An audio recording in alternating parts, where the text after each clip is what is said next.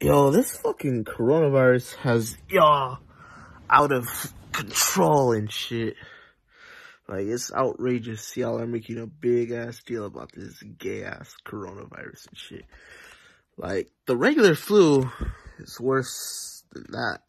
You know what I mean? So it's like, y'all are making a big ass deal about it because the media tells you to buying toilet paper and shit, knowing that's not gonna solve the problem. Like, that shit is outrageous to me. That shit is funny to me. Like, me personally, I'm immune to the effects of the coronavirus. I don't give a fuck.